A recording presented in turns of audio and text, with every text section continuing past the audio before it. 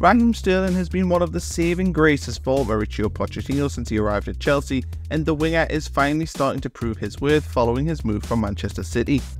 The forward has been in electric form in the opening four matches of the season and showcased why Thomas Tuchel was so desperate to work with him 12 months ago.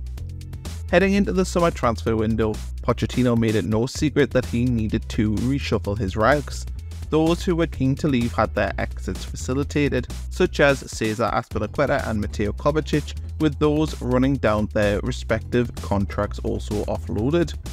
Numerous players were also deemed no longer good enough for the Chelsea project and thus offloaded.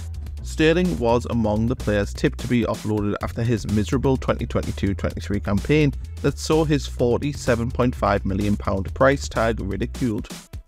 However, Pochettino kept the faith and ruled that he wanted to work with the England international, and the winger has repaid the faith of his manager with an electric start to the new campaign. Sterling has scored two in four appearances so far this season, which somewhat undersells his influence in the Chelsea side.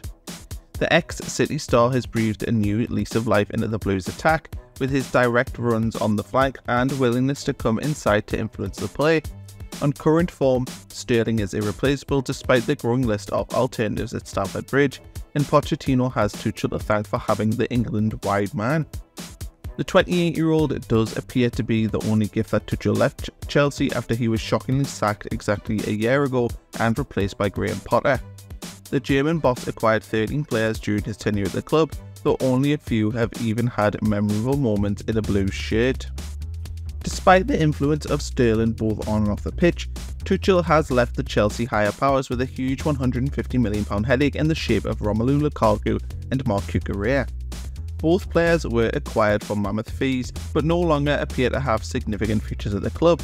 Their sales would have been green-lighted if sufficient offers arrived, but they didn't. No clubs want to sign the pair permanently because of the transfer fees Chelsea's want, and because of their wages.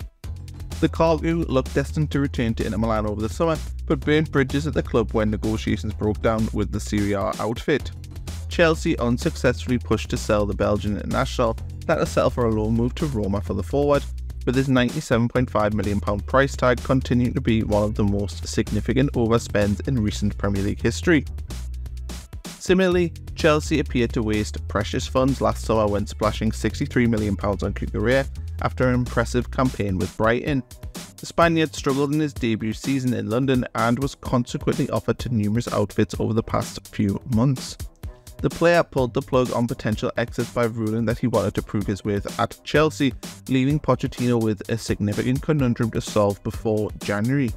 If Cucurella doesn't find form, Chelsea will struggle to find anyone willing to take him off their hands on a permanent basis unless they sell him on the cheap.